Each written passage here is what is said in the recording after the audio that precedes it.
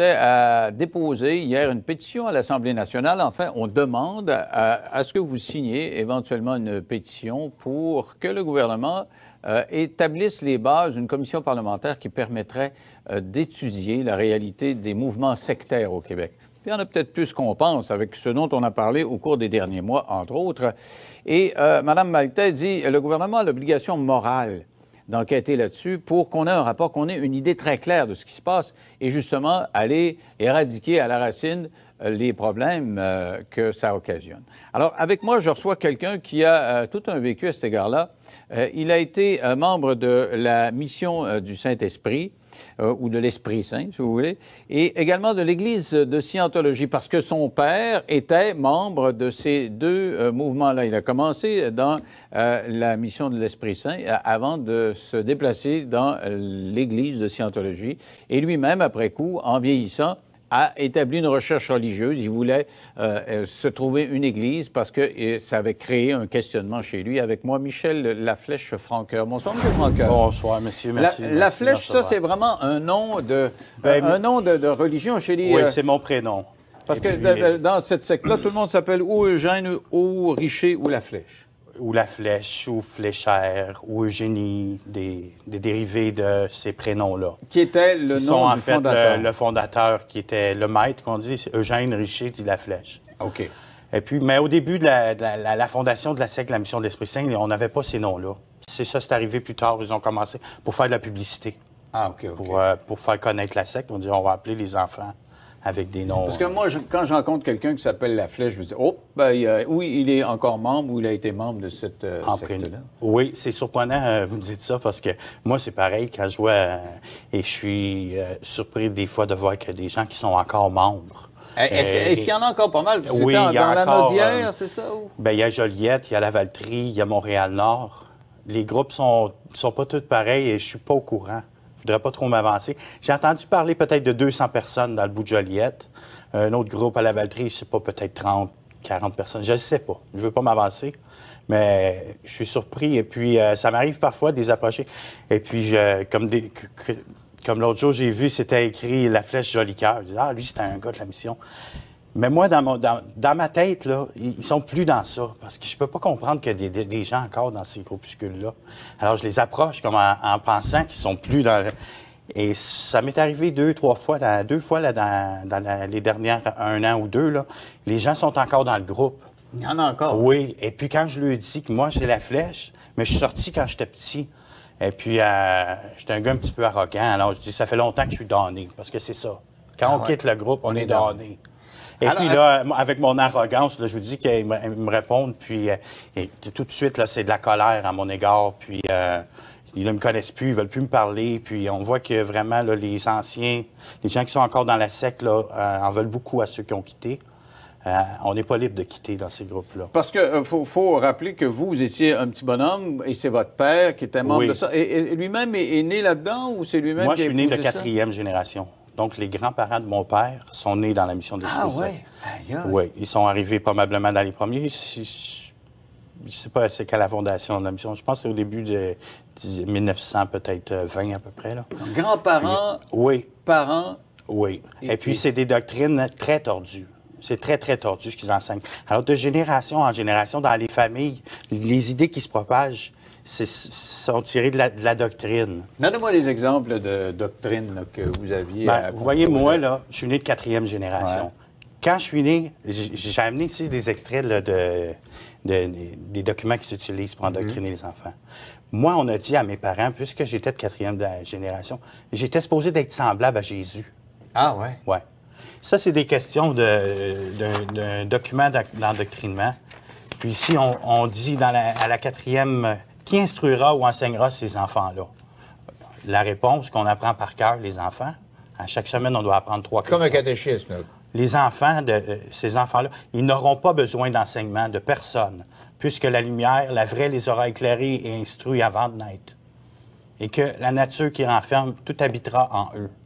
Donc, vous n'aviez pas d'école quand vous étiez petit? Bien, moi, là, moi, à cause de mon prénom La Flèche, ma première journée d'école en, cinquième année, là, quand on, demande le, prénom des enfants, alors c'est mon prénom, j'étais un peu... Euh, je suis pas habitué encore dans le monde, moi, avec les...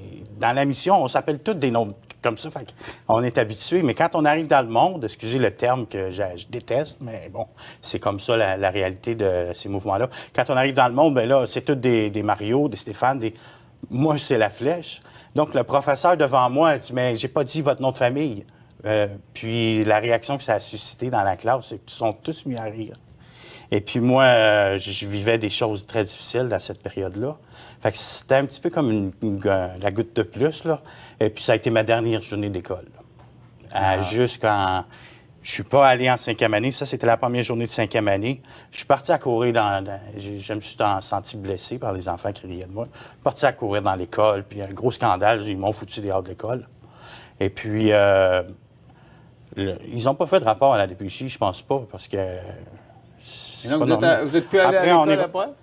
Non, je suis retourné, moi, euh, je suis retourné à l'école en centre d'accueil à l'âge de, juste à l'aube de mes 14 ans. Ah, parce que je me souviens quand j'étais à TQS, on avait fait un reportage là-dessus. il, y avait des, gens qui n'avaient pas été à l'école pendant tout. Euh, moi, je voulais attirer votre attention sur cette question-là. vous savez qu'on donne des permis d'école. Mm-hmm. Mais les, les parents des enfants dans la mission de l'Esprit Saint, quand c'est après quelques jours, considèrent que leurs enfants n'ont pas besoin. Alors, ils les envoient à l'école juste pour ne euh, pas avoir de problème avec le gouvernement. Mais ils ont un permis d'avoir des écoles encore? Bien, ils ont eu une école, là. Ils ont ouvert une école, il y a eu en 2016, je pense. Dans... Ben oui. Ah, ouais. Fait que. Euh, Mais ils enseignent quoi là-dedans, Parce que.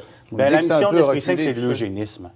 L'eugénisme, un peu là, comme dans le, nazisme allemand. Donc, euh, les Blancs sont meilleurs? Non, c'est pas les Blancs, mais malgré qu'on est pas mal tous blancs, il n'y a pas beaucoup d'immigrants dans la mission de...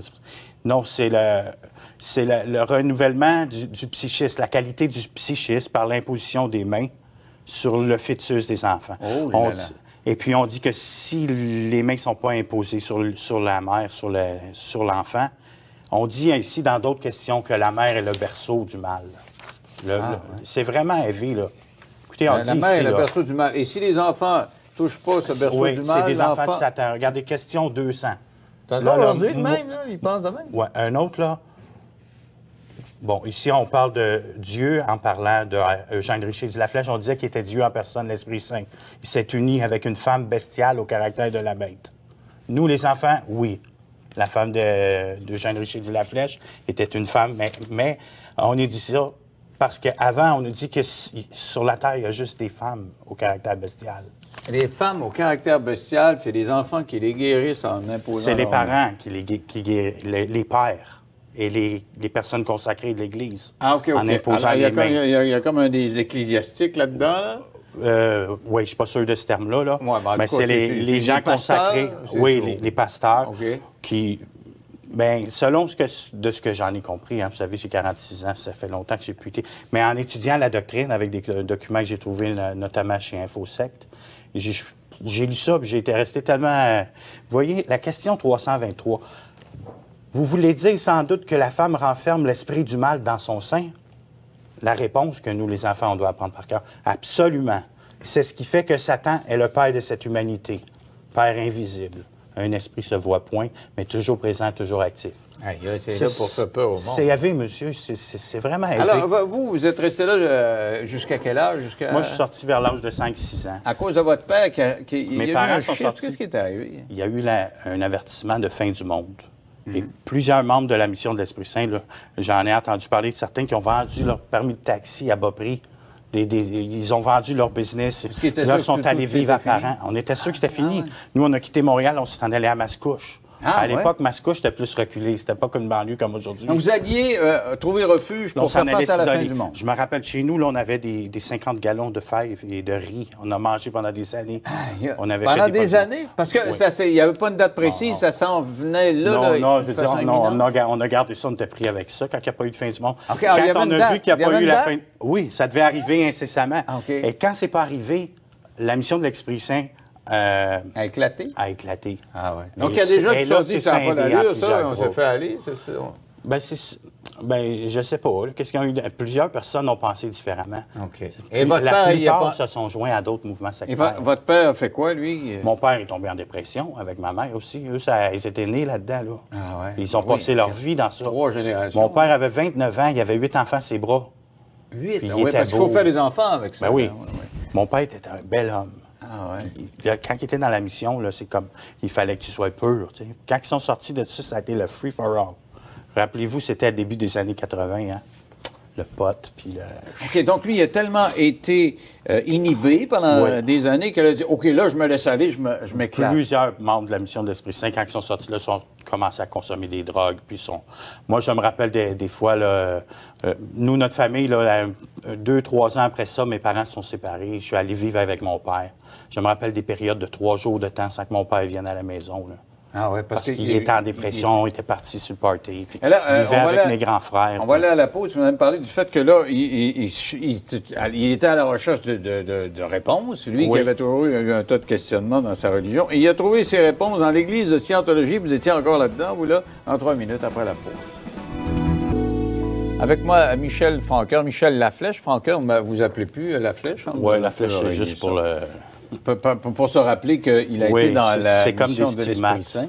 Euh, et donc, votre père, donc, euh, à la suite de cette fin du monde qui n'est pas survenue, euh, est en perdition morale. Et finalement, il, il va trouver refuge à- au sein de l'église de Scientologie, oui. Scientologie. Alors, Oui. comment ça se passe pour vous, le petit gars qui avait quel âge à ce moment-là? Moi, là, quand on est rentré en Scientologie, je devais avoir à peu près 10 ou 11 ans. Ah, ouais. alors là, c'est tout Ouais. un changement pour vous aussi. Racontez-moi comment ça s'est passé. Ben, la scientologie, écoutez, à cet âge-là, là, nous, on, on arrive là, là, on comprend pas encore les doctrines trop. À 10, 11 ans, c'est. Fait que, ben, le changement, c'est comme. Mon père est arrivé. Ce que j'ai vu, c'est que son moral avait changé. C'est comme s'il avait trouvé une nouvelle mission de l'Esprit Saint. Ah. Et son moral, c'était. Il avait trouvé espoir de. Donc, il fini comme le en pot, dépression, la là. dérape, la dépression. Non, non, on lui a pas arrêté de fumer du pot. Ah, mais ça, c'est la scientologie qui l'a arrêté. Ah, OK. Mais euh, entre nous, là, je pense qu'il aurait été mieux de continuer à fumer son petit joint. Ah ouais? Parce que mon père, il était névrosé, il avait des sérieux problèmes, euh, il était pas bien. Donc, ça l'a Et pas puis, calmé ça- d'avoir ces, ces éventuelles réponses-là dans au une début, religion? au début, parce que quand il est arrivé en scientologie, on, on lui a fait miroiter beaucoup d'espoir. hein.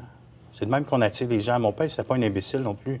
Il, il était démoli, là. il cherchait des solutions. Et puis, on, on- en scientologie, là, vous savez, le fameux test de personnalité, là, on trouve à chaque personne, là, chaque personne le test là, fait ressortir des, des, des carences dans leur, euh, dans leur affectif. On, on va les chercher chacun. Puis mon père, euh, en arrivant en scientologie, j'imagine aussi, il a trouvé du monde à qui parler, au début du monde qui l'écoutait. Puis je ne sais pas trop sur quel point ils sont arrivés à le recruter, mais lui est entré en scientologie. Il nous a amené plusieurs... euh, il nous a tout amené, les enfants, mais il y en a qui n'ont pas accroché. Ah ouais. Moi, j'ai accroché, j'aimais ça. J'aimais ça. Moi, je suis comme ça. Vous savez, je m'intéresse aux sectes. C'est devenu une passion. Puis, euh, il vous donnait des livres, là, puis- puis vous lisiez les livres, c'est ça? Oui, Moi, j'ai commencé, j'avais 12 ans. J'allais recruter des gens sur la rue pour les Ah, ramener ouais. dans l'église de Scientologie. Je passais des soirées complètes à faire des mailings pour envoyer de la publicité à des gens. Euh, je faisais du ménage dans l'orgue, dans l'organisation. Mhm.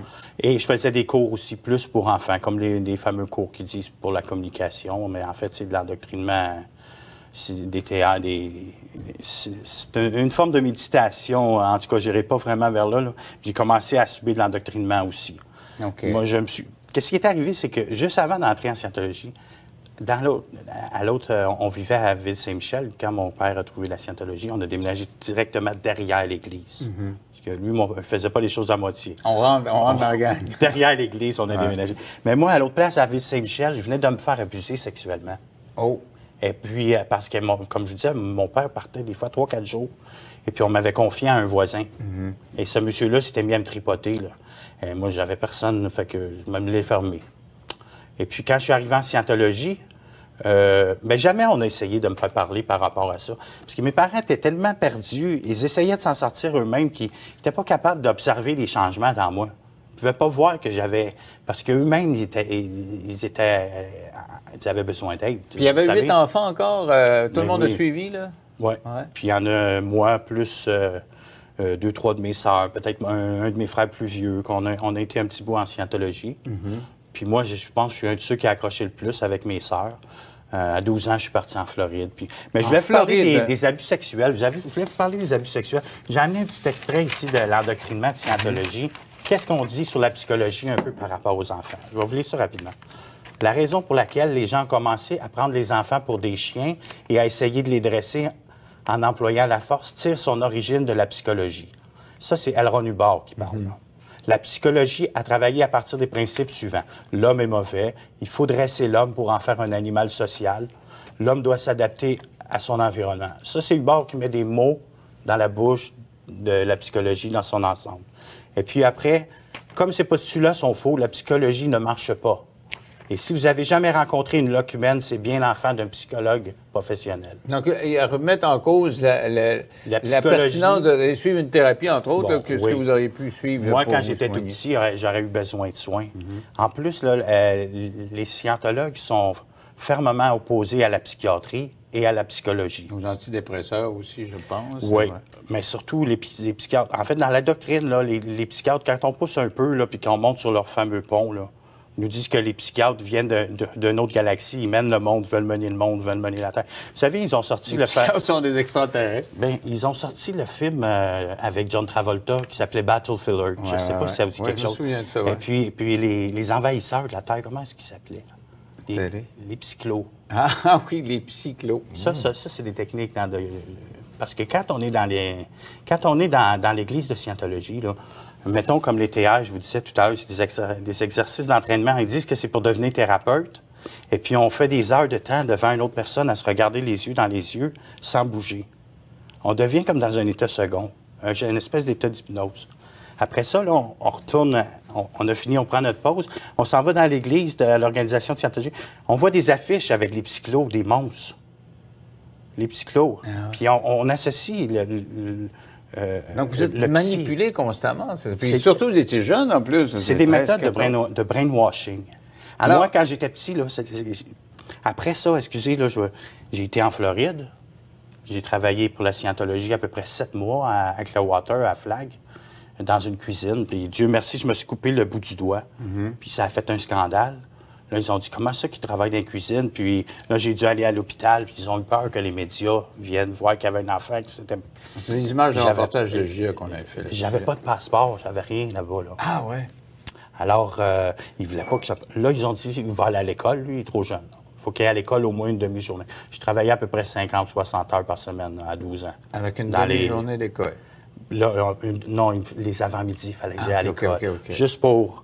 Mais c'est des... Pour être euh, lé- légalement accepté. Oui, mais c'est pas des vraies écoles. C'était ouais. dans un vieux motel. Ils avaient pris deux chambres, ils avaient défoncé un mur. Puis là, en plus, mon- là, ils enseignaient les maths. Je ne sais plus trop qu'est-ce qu'ils m'ont...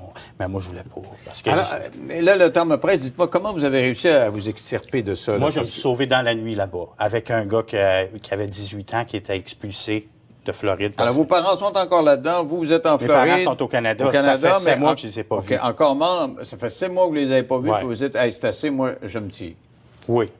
Et, Oui, euh, parce euh, que j'avais pas de vêtements, j'avais pas d'argent. Quand tu rentres dans l'organisation avancée qu'ils appellent l'organisation maritime, la Sea Org, là, on te fait signer un contrat d'un milliard d'années. Tu donnes ta milliard d'années, c'est long, ça, messieurs? Oui, mais c'est le principe, surtout quand. Et puis, euh, on, on est supposé d'avoir des vêtements, d'avoir une belle chemise, tu sais, puis tout. Moi, j'aimais ça. Moi, savez, ils savaient, les sectes viennent chercher des gens avec. Ils, connaissent mieux notre inconscient que nous-mêmes. Alors- Moi, je voulais sa- sauver le monde, puis je me voyais dans l'habit de. C'est des habits, c'est comme dans la, dans la marine, avec une belle chemise. Puis là, ils m'en donnaient pas. J'avais, ça faisait 7-8 mois, je traînais les mêmes t-shirts que j'avais amenés de Montréal. Même, je vais vous dire, un soir, là, j'avais un pantalon. Il fallait que je le la- lave le soir avant de me coucher. Des fois, il ne séchait pas. Je le mettais mouillé le lendemain.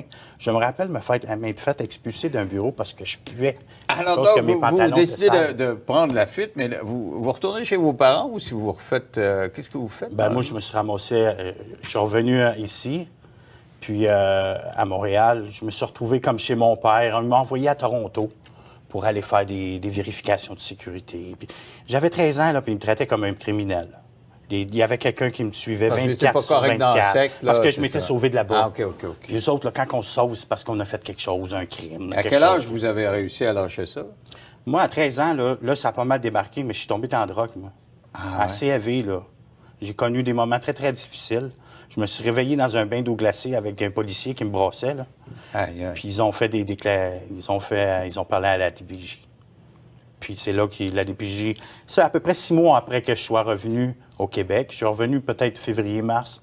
Et puis euh, au mois de septembre-octobre, j'entrais en centre d'accueil. Donc, vous avez été en centre d'accueil. Jusqu'à l'âge de Avez-vous- 18 ans. Et avez-vous revu vos parents après coup, si vous De avez... temps en temps. Ou non, non, je voyais mes parents. Parce Mais, que euh, des- quand tu lâches un mouvement comme ça, de- souvent, tu es vu comme un paria, puis ils veulent Oui, pas t'en oui, mais je voyais mes parents, mais ils n'étaient pas fiers de moi. tu sais, Ils Ah, étaient OK, pas- OK. Ouais. T'es le lâcheur, toi, là. Mon, parent était- mon père était flyé. Là. Il n'a pas arrêté de fumer des joints à- tout de suite. Là. Et là, ce que j'ai compris, votre, vue, euh, votre vie après, à vous, a été euh, compliquée parce que vous avez... Votre père était constamment à la recherche de l'absolu. Vous avez fait la même chose. Vous avez essayé de trouver des religions Mais moi, qu'est-ce qui est arrivé quand j'arrivais en scientologie, là, mes abus sexuels, là, en scientologie, là, les- on est responsable de notre condition.